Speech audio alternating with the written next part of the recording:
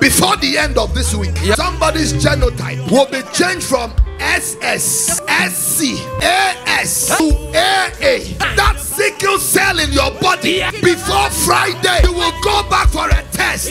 Sickle cell will disappear. You are shifting from SS, from SC, from AS to AA. Now, there is healing your room. The glory of God is all over you. I see a swollen body. Body is swollen. I see somebody with boils My God. skin diseases as the power of God is hitting you in that room are being cured now. As I see Naaman, Yeah. I know Naaman to represent skin disease. The Jordan River is cleansing you now. The river of the Holy Spirit is cleansing your skin, cleansing your body. Acnes are gone, pimples are gone. I said they are gone now.